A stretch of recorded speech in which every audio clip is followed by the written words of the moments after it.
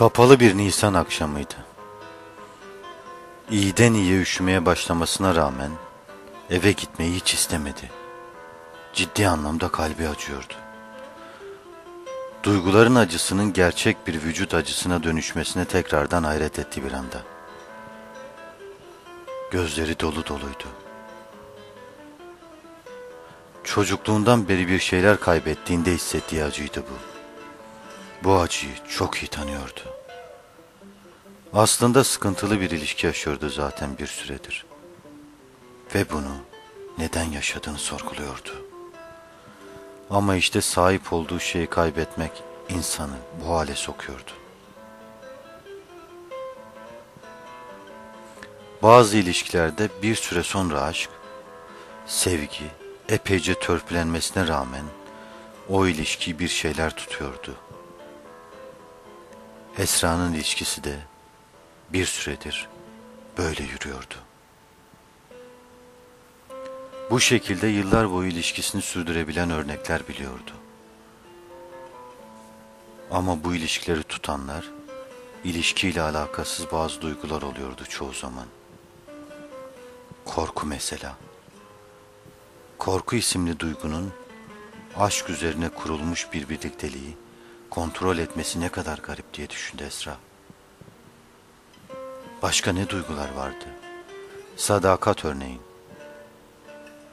Sadık olma güdüsü insanın elini kolunu nasıl da bağlayabiliyordu? İstemediğin bir şeyi yürütmeye bile zorlayabiliyordu. Ve statikonun getirdiği bir huzur.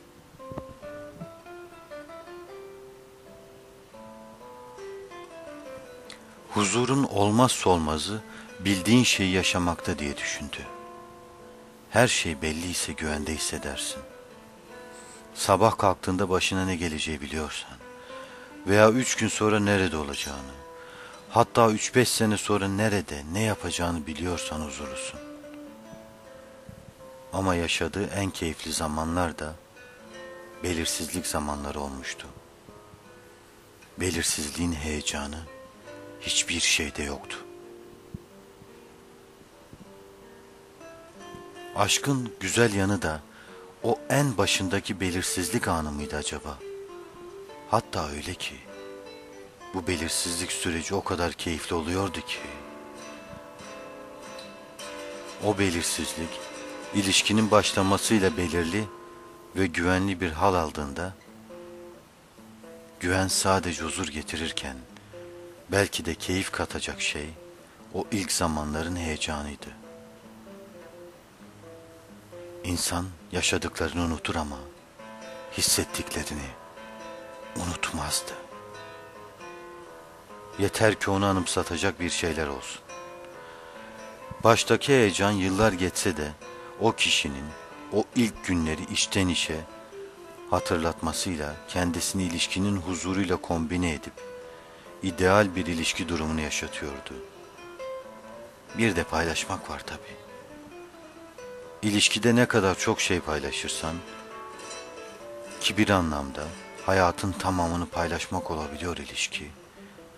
O ilişki o kadar vazgeçilmez oluyordu. Birçok duygunun eksildiği ve başka tip duyguların girip çıktığı bir yer olsa da.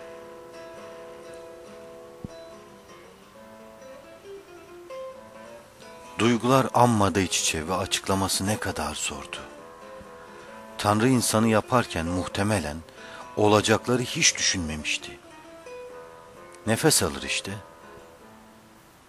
Bir iki de güzel yemek yapabileceği malzeme versem, çetin doğa koşulları, buna karşı koyacak malzemeler ve az buçuk da akıl verdim miydi tamamdır diye düşünmüştü herhalde. İşte o aklı vermeyecekti. O akıl denen şey her şeyi kaosa sokuverdi. Sen mahlukata akıl verirsen olacağı o. Sanıyorsun ki o akıl basit sorunlara bulduğu basit çözümlerle kalacak. Hatta basit sorunlarla yetinecek. Aksine o olmayan dertler çıkaracaktı. Belliydi bu. Sen çözme yeteneği yaratırsan, insan da kendine dert yaratır.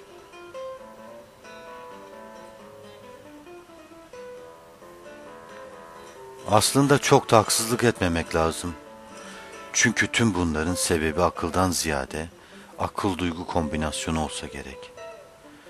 Ki mitolojiye göre de Tanrı duyguları yarattığında olacakları tahmin etmiş. Üzerine daha sonra çalışırım diye rafa kaldırmış. Ama bir iki sorumsuzun yüzünden duygular erkenden insanlara bulaşmış. Neyse ki olabilecek tüm duygu kombinasyonları mevcut. Böylece tam bir yükselişe geçip her şeyi içinden çıkılmaz bir hale getirdiğinde başka bir duygu devreye giriyor da ötekini sindiriyor. Dengeliyor. Duygular beyne hükmedecek kadar güçlüydü. Esra Mehmet'le iki senedir beraberdi. Hemen hemen tüm duyguların yaşanmasına fırsat verebilecek kadar çok paylaşmışlardı hayatı. İlk heyecanın gazıyla uzatmalar oynamışlardı uzun süre. Birlikteliğin başlamasına sebep olan duygular tükendikten sonra. Şimdi Esra daha fazla uzatmak istememişti. Bitmişti.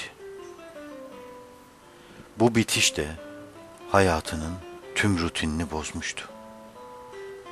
Bağışıklığın en çok zayıfladığı anlardır bu anlar. Tüm duygular cirit atar. Her biri kendine bir yer arar. Beyni kafaya almaya çalışır. İnsanı tüketen de bu olur. Yemek yememek, uyuyamamak falan hep bundan olur. Tıpkı Pandora'nın kutusunun ilk açıldığı zaman insanların yaşadığı kaosun yaşandığı şekliyle.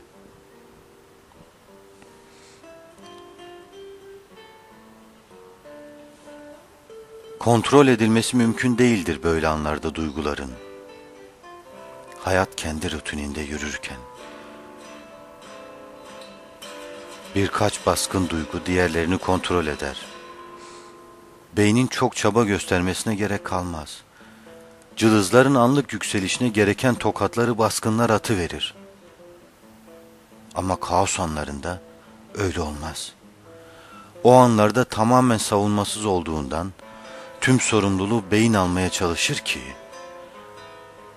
bunun yaratıcısı duyguları kontrol edememişken beynin kendisi en fazla ne yapabilir? Tüm mesaisini buna harcaması kesin gerekecek. Bu dönemde de fiziksel bağışıklığın gardı düşecek. Zamanla çözer de belki. Beynin gücünü yatsımamak lazım. Ama genelde beyin işi çözmekten kaçar. Çakallık yapıp başka bir yol bulur kendine. Madem ki baskın duyguların yokluğundan çıkıyor problem, o zaman baskın bir duygu edineyim, her şeyi kontrol etsin, ben de uğraşmayayım der. Ayrılıklarda başvurulan en yaygın yöntem budur. Hemen iktidarı devralabilecek bir duygu bulunur. Bu iktidara da iki güçlü aday vardır genelde. Esra ile Mehmet'in hikayesi de bu devir teslim töreniyle noktalanacaktı. Esra riskleri alıp vazgeçen sıfatına eriştiğinden dolayı işi, daha zor olan taraftı. Bu sıfatı o almıştı. Çünkü ayrılık fikrini o dile getirmişti. Ama işin aslı ikisi de bir süredir vazgeçmişlerdi. Uzatmalarda olduklarını ikisi de biliyordu. Ve birinin hakemi zaman doldu diye uyarması gerekiyordu.'' Esra neden risk alan taraf olarak tanımladık? Çünkü bu hamlesiyle kaosu en kolay çözecek duyguyu elleriyle Mehmet armağan etmiş oldu. Nefreti. Mehmet'in beyninin işi kolaydı. Bir süre işler nasıl gidiyor diye bakacak, Olayı çözemeyeceğini anlayınca da yönetimi nefrete devredecekti. O da tüm duygu kaosun etkisi altına alıp bir rutin oturttuktan sonra aradan çekilecekti. E tabi nefret de az şiddet yanlısı değil. Duyguları yumuşak yöntemlerle kontrol altına almayacaktı. Bu da bir süre bünyeye zarar verecekti. Mehmet de iki kaburganın arasındaki bölgede sürekli bir acı hissedecek. Ama geçecekti. Peki ya Esra, garibim. Onun o şansı zora girmişti. Hatta bir de kaosa destek sağlayacak, isyancı suçluluk duygusunu da bünyesine yerleştirmiş. Hislerinin savaşının şiddetiyle baş etmeye çalışıyordu şimdi Nisan soğuğunda. Uzaklara daldı bir süre. Nefesini kontrol etmeye çalışıyordu. Beyninin acil zaferini umuyordu çaresizce. Esra'nın beyni olayı fazla uzatmadan çözdü.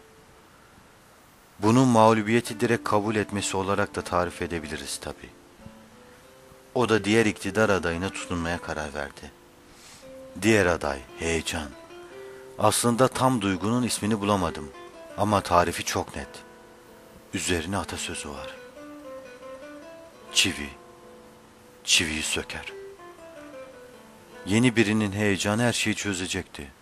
Başka bir kaos ortamı olacaktı belki ama en azından bir sürü duygu başıboş cirit atmayacaktı. Birkaç duygunun önderliğinde yürüyecekti olaylar. Belki de yeniden aşk ile. Hafızasını yokladı Esra. Aday aradı aklında. Zor olmadı bulması. Vicdanı önce onu yokladı. Bir an kararsızlık yaşadı. Nefesi hala onu zorluyordu. Bir an önce zorlanmadan nefes alma güdüsüyle fazla düşünmedi. Telefonunu çantasından çıkardı, adayı rehberden buldu ve yeşil tuşa bastı.